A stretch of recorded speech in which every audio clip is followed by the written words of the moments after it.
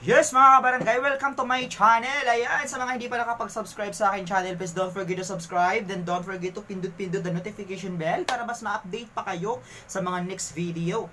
Yun na nga mga kabarangay, sobrang happy ako kasi meron na akong 500 subscribers and um, I just want to thank every single one of you dahil sa inyo dahil sa panonood niyo sa video ko, kaya maraming maraming salamat um, di ko talaga in-expect na meron na akong ganoon. Meron na akong 500 subscribers. Marami nang, meron na palang mga nanonood sa video ko talaga. So, maraming salamat. Pinaghirapan ko siya ng bonggang-bongga. And, uh, syempre, uh, tip ko lang din sa mga gusto mag-YouTube, mga kabarangay, go na, gawin nyo na. So, so ito na yung pagkakataon nating ito na yung pagkakataon nating ipakita sa mga tao or sa buong mundo na kung anong meron tayo, ano yung kaya nating ipakita sa kanila. Kaya, go, go, go, go. So, sa mga iba dyan, dami, anong gagawin? Uh, nahiya ako, ay, anong gagawin ko, di ba? So, ang dami niyan. Kung magaling ka magdraba mga kabarangay, push mo yan. Kung magaling kang kumanta, kumanta ka. Kung gusto mong magbaliw-baliwan, magbaliw-baliwan ka. Kung, kung gusto mong magwala, magwala ka. Ganon yun. Gawin mo yung mga ganon. Kasi, yung mga taong ganyan, minsan, iba, may mga natutuwa, ganon. Go lang ng go. So, so ito yan. Ito yung mga kabarangay. Uh, example ha. Example ng drama Bigyan ko yung example ng drama. Eh, ganito lang yan kadali. Eh.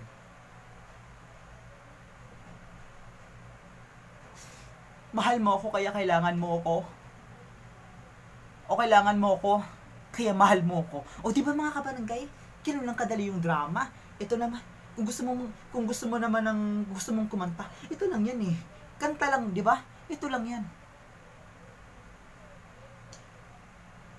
Lead me, Lord, Lead me by the hand and help me face the rising sun. Comfort me through all the pain that life may bring. There's no other hope that I can lean upon. Lead me, Lord. Lead me all my life. O diba? Kung gusto mong kumanta, kumanta ka. Wala silang pakialam. Basta gawin mo ang gusto mo. Cellphone mo, laptop mo yan, monitor mo yan, TV mo yan. Go, ikaw yung nakaharap sa'yo yan. Wala nagmamayari dyan. Kaya go lang ng go. Ngayon, kung gusto mo namang gusto mo magwala, di magwala ka. Ganito lang yan, oh. di ba? Napakadaling magwala, mga ka Napakadaling magwala mga kabarangay, kaya go lang ng go. Ito naman, kung gusto mo magtanga-tangahan, ganito lang.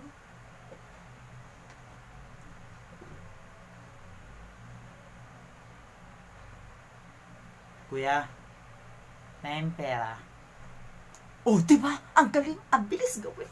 Walang kahirap-hirap mga kabarangay, baliw ka na. Ganun lang kadali magbaliw-baliw. Ito naman mga kabarangay. Ito naman, ah, uh, ito naman, the best kung gusto mo namang gusto mong baliw, yung baliw talaga, ganito lang yan mga kabarangay, ipapakita ko yan. Ako butoy. Pangit ka, pangit. Ganun lang siya mga kabarangay, kaya hindi siya, naku, walang kahirap-hirap gawin. Eh, di ba? Pagkatapos mong gawin, panoorin mo lahat ng ginawa mo, tapos tumawa ka. Di ba? Pinagtatawanan mo yung sarili mo. Pinaiyak mo yung sarili mo. Natawa ka sa sarili mo. Di ba? Nakita mo yung sarili mo kung paano ka magiging baliw. Ang sarap noon mga kabarangay, bonggang bongga. Kaya sa mga kaya sa mga kabarangay natin diyan na gustong gumawa ng YouTube video, mga kabarangay, go, post niyo na yan. Bonggang bongga, ang sarap sa pakiramdam, mapanood mo yung sarili mo. Ay, sabi mo, ako ba yan? Ay, ang galing ko pala umarte. Oh, pwede pala ako magiging alam mo na mga kabarangay, mga bituing ningning. So, yan. Yun lang mga kabarangay. Yun yung mga tips ko sa mga gusto nilang gawin. Ang dami pwedeng gawin eh. Pwede ka mag-adventure, pwede ka pumunta sa ibang lugar, video mo, nandito ka na. So, ganun lang. Ang dami mong pwedeng gawin sa sa buhay mo na kasi minsan may mga bagay na yung iba kasi talaga mga kabarangay hindi nabigyan ng pagkakataon. So, dahil ngayon sa mga pinanganak ng mga uh, pinanganak na marami ng gadget kasi nung 70s, 80s, ah, uh, nung 90s kasi mga kabarangay, 90s kasi ako eh. So, hindi ko pa naabutan talaga, yung mga gadgets. So, yung mga nilalaro namin, mga Carpentero, yung mga laro lang kami ng mga laro, larong larong 90s. Alam natin lahat yan. Mga tumbang preso, mga Chinese Carter, mga ganyan. Ngayon kasi yung mga pinanganak ng 90s, 2005, may mga gadgets na eh. So, sobrang napakaswerte na nila. Kaya more on gadgets yung mga kabataan, yung mga laro ng mga 90s, 80s, hindi na nila ginagawa kasi more on gadgets na. So, sa mga nangarap, ng mga nangarap ng mga 90s uh, kabatch ko na gusto mag-artista, check, check, artista, gustong, gustong ganon, gusto mga talent nila. So, this is our, dito na yung chance, ito na yung chance sa mga kabataan dyan, oh, yung mga ano, ito na yung pagkakataon nyo para ipakita sa buong mundo na kaya nyo rin pala, may natagong, may natatagong talento din pala kayo na, na, ng bonggang-bongga, kaya gora-gora na, di ba? Gora-gora na mga kabarangay, kaya huwag kayong mahiya. Kahit na sabi, kahit na may mga tumitingin sa'yo, may nakakarinig, eh, baliw ba siya? Ba't ganyan nagsasalita siya mag-isa? Wala akong pakialam mga kabarangay kasi masaya ako. Wala akong pakialam kung anong sasabihin nila, basta masaya ako. Yun lang naman mga kabarangay. So maraming salamat. And don't forget to subscribe again mga kabarangay, bungang bongga, yan, para mas ma-update pa kayo. Next, ah, abangan nyo yung mga gagawin ko sa susunod.